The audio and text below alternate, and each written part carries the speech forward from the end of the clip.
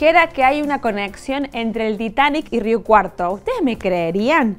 Bueno, la respuesta en realidad es que existe tal conexión porque entre la tripulación, digamos, en realidad, entre los pasajeros del barco que se hundió en abril de 1912, había dos argentinos y uno de ellos, Edgar Andrew, perdió su vida en ese barco. Se trata de un joven que vivía en la estancia El Durazno, muy cerquita aquí de Río Cuarto, cuyos padres habían enviado a Inglaterra a estudiar.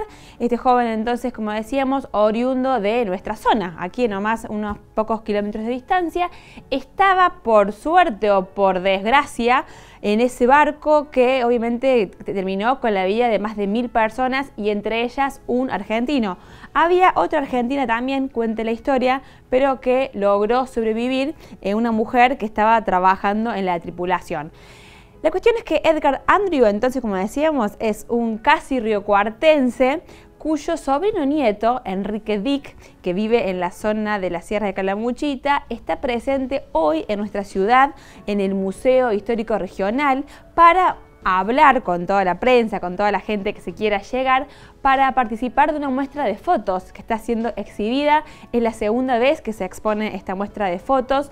Enrique ha escrito varios libros sobre la historia de su familia, porque además de ser sobrino nieto de Edgar Andrew, el, pasajero del Titanic que perdió su vida a bordo de este barco en 1912, Enrique tiene también otras historias familiares muy interesantes que lo han llevado a escribir distintos libros, pero sin dudas un hallazgo en el año 2000 cuando encuentran después de 88 años la valija de Edgar Andrew en el fondo del océano, despertó, por supuesto, eh, mucho más intriga, mucho más curiosidad por conocer la historia de este casi riocuartense que, como decíamos, perdió su vida a bordo del Titanic en 1912.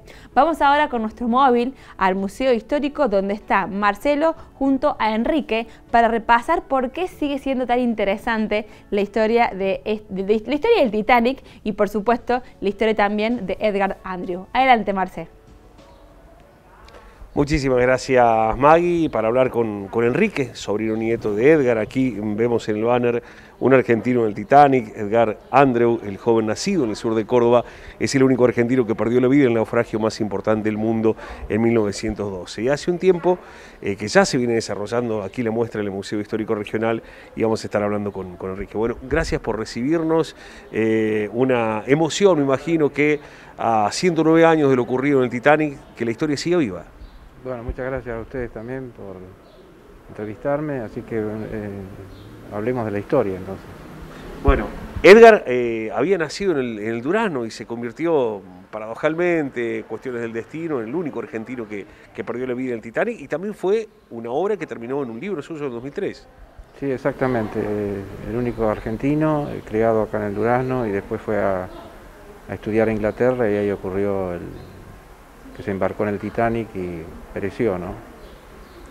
Bueno, ¿cómo ha sido toda esta vida en el caso tuyo, digamos, de, búsqueda de, cada uno de los elementos? ¿Cómo, ¿Cómo se llegó, me imagino, para que el libro saliera en el 2003 a casi 91 años en ese momento, eh, de todo el trabajo de recopilación? Bueno, la historia empieza, digamos, con mi primer libro, este fue el tercero, el primer libro y el segundo trataban de la familia y me faltaba otro de otra rama de la familia, que en este caso era la, inglesa. Así que comencé a investigar y cuando el libro ya estaba casi listo, eh, apareció la noticia de que habían encontrado la valija en el fondo del mar. Así que yo detuve la, escritura, no la detuve, digamos, la reorienté para poder este, dedicar algunos varios capítulos a la valija y su contenido y a lo que estaban haciendo con todos los elementos hallados. Así que bueno, el libro se demoró un poco, pero bueno, salió en el 2003 con toda la historia y los personajes. Y, este, bueno, como yo le, dije hace un rato, hay nuevos elementos de juicio, nuevas este, investigaciones y demás que me, animan a escribir, a reeditar el libro este, o sea, una segunda edición aumentada y con algunas, este, como decía, informaciones e investigaciones que son muy interesantes y que hacen a comprender mejor todo el... Y también quedan algunas hipótesis siempre, como en toda historia, siempre queda alguna, algún cabo suelto, Así que eso anima a seguir buscando, que siempre uno encuentra, pero nunca se detiene. Yo por lo menos no, me detengo en seguir investigando sobre toda esta historia tan curiosa y particular y, trágica.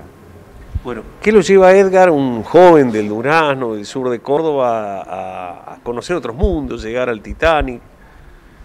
Bueno, Edgardo era el menor, en realidad había otro, había, tenían otro hijo, otros hijos, otro hijo más chico que murió a los seis meses, o sea que Edgardo seguía siendo el menor. Y era bastante rebelde, no quería estudiar, así que la madre le escribe al, hermano mayor, al hijo mayor que estaba en Estados Unidos en una comisión para recibir los acorazados Moreno y Rivadavia y le pide que, se ocupe de él y que le consiga algo para estudiar en Inglaterra. Así que bueno, habló con un tío que vivía en el sur de Inglaterra y lo aceptaron, este, así que viajó para Inglaterra desde Nueva York y llegó a Liverpool y después en tren a Barnemouth, que es el pueblo donde vivía el, la ciudad donde vivía el tío, y ahí comenzó en el colegio. Hasta que le llegó una invitación del hermano mayor que se iba a casar en Nueva York con una señora muy, rica, Harriet Fisher. Así que lo invita al casamiento. Entonces él escribe, yo tengo algunas cartas eh, diferentes a la carta premonitoria que ustedes conocen, que, la historia conoce. Eh, dice a ver si el ingeniero, el ingeniero del hermano mayor era ingeniero maquinista, a ver si me consigue algún trabajo con la señora rica, la señora acaudalada. Así que bueno, eh, obtiene un billete de, en el Oceanic, que era un vapor que partía hacia Estados Unidos, pero como en ese momento, en, el año 1912, principios de ese, ese, año, había en Inglaterra ocurría una huelga de carbón, el carbón era el combustible que movía casi todo, ¿no? la calefacción, los trenes, los buques, así que como ya estaba programado y había sido antes suspendido el viaje inaugural del Titanic, este, repartieron el carbón para proveerle a este buque para poder cumplir con su viaje inaugural. Enrique, si le, parece, ahí están las fotos aquí, podemos ir repasando, moviéndonos mientras le vamos comentando a la gente. Eh, y, nos vamos a preguntar también, Enrique, ¿no? ¿Qué es lo que lo hace tan, tan particular? ¿no? Acá están precisamente, eh, ya en la sala donde dentro de minutitos nomás va a estar desarrollándose la, conferencia de prensa, eh, algunas de las fotos de Edgar. ¿Qué mantiene vivo el Titanic haciendo nueve años de lo que ocurrió? ¿Cómo, cómo? No, no. ¿Qué, no mantiene vivo a la historia, en el ah, interés de la gente? la historia es increíble, ¿no? Porque una vez fue la película, otra vez fue el hallazgo del buque. Siempre hay algo que lo que despierta la historia, ¿no es cierto? Este, es llamativo, digamos, digno de estudio. A ver, bueno, acá está la foto de, esta es la foto de Edgardo, una que se sacó en Buenos Aires antes de partir a Estados Unidos. Este, tenía, como le decía, 17 años. Eh, en realidad cuando, cuando viajó tenía 16. Y llegó a Inglaterra y ahí cumplió 17. Y bueno, entonces sacó el, el boleto en el Oceanic y por el tema del carbón le dieron, le ofrecieron el Titanic, aceptó y se embarcó en el Titanic unas semanas, unos días, semanas, semanas antes. Y ahí fue que ocurrió la, desgracia, ¿no? Y lo más notable es que él dejó una carta a una señora diciendo que no estaba, estaba muy afectado por tener que partir antes y no verla a, la señora esta y a su hija que venían de Buenos Aires y me dice, escribe, que no está orgulloso de, viajar en el Titanic, que le gustaría eh, verlo sumergido en el fondo del océano.